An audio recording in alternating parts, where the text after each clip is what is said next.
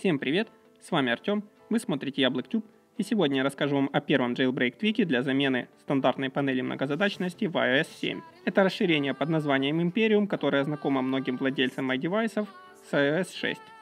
Твик работает в связке с активатором, соответственно его можно назначить на любое действие, в том числе и на двойное нажатие кнопки Home. Твик позволяет выбрать 4 приложения, которые будут отображаться как любимые для быстрого запуска, а также указать одну из четырех страниц расширения, которая будет запускаться по умолчанию.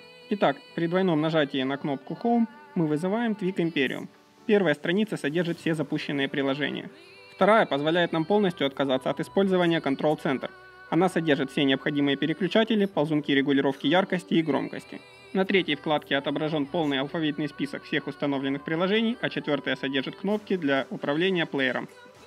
Панель многозадачности позволяет не только переключаться между программами, но и по одной удалять их путем нажатия на крестик. Отдельная опция в настройках Imperium позволяет запускать панель с экрана блокировки.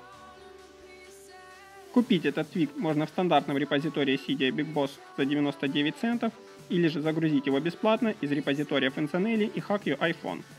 Не забывайте оставлять ваши лайки и комментарии под видео, добавлять ролики в избранное, а также подписываться на наш канал. С вами был Артем, специально для YablokTube. Пока!